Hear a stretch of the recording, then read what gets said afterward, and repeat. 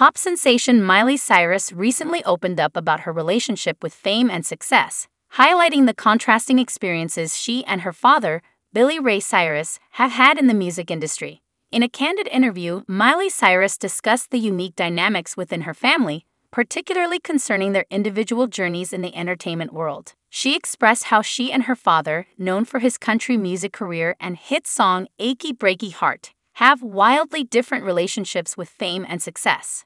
Miley Cyrus, who rose to global stardom at a young age through her role in the Disney Channel series Hannah Montana, has had to navigate the pressures of fame and the challenges of reinventing herself as an artist.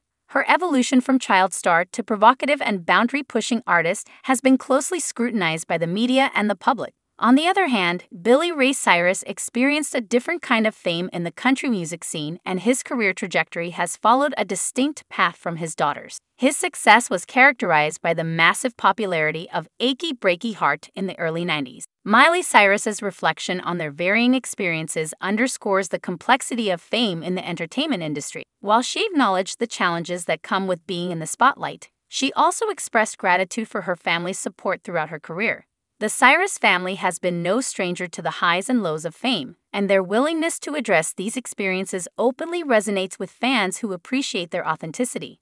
In conclusion, Miley Cyrus's comments about her and her father's relationships with fame and success shed light on the multifaceted nature of the entertainment industry. Their ability to navigate the challenges of fame while maintaining a close knit family dynamic is a testament to their resilience and authenticity in the public eye.